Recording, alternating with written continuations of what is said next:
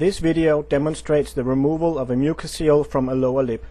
The video was originally recorded at the University of Copenhagen, Denmark, and is edited and released by the Arthur A. Dugoni School of Dentistry at the University of the Pacific in San Francisco. Mucoceles are minor salivary retention lesions, usually of traumatic origin.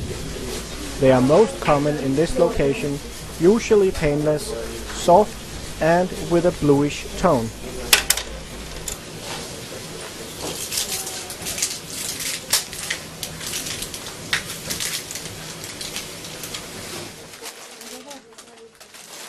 The treatment is initiated by giving local anesthesia infiltrations below the leaf lesion in different directions.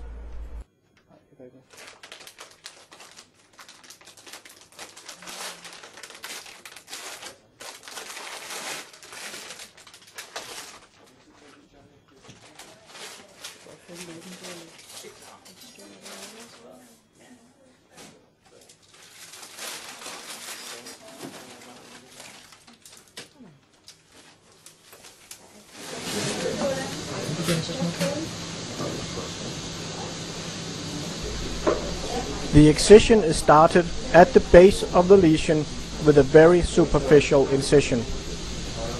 A scissor is introduced between the lesion and the surrounding tissue and used to separate the mucocele which can be seen clearly to penetrate out through the incision when released.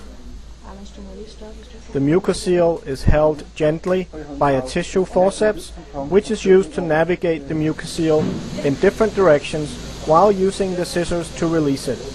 The mucocele will be attached at the base where the feeding minor salivary glands are present.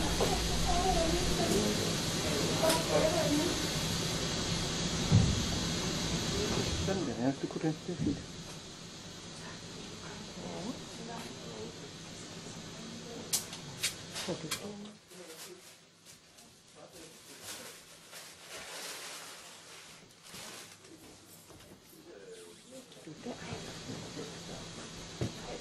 Có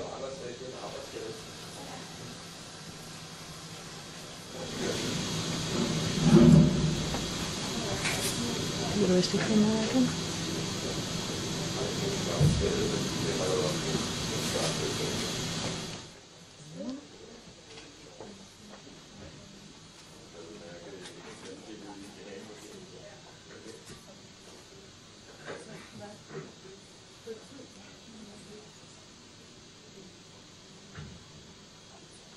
Nu går løs, Pernille, så lad mig flytte den ud af feltet for hurtigt. Ja. Jeg skal lige zoome ud samtidig. Ja.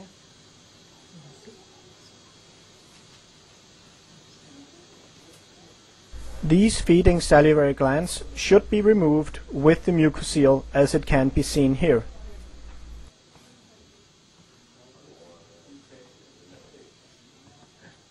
When released, the specimen is placed in 10% formalin and sent for histological examination.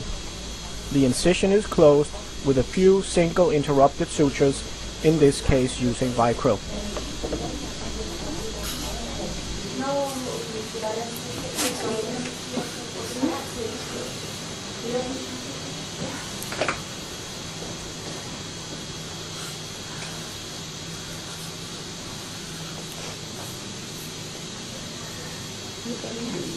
Kom der to på der.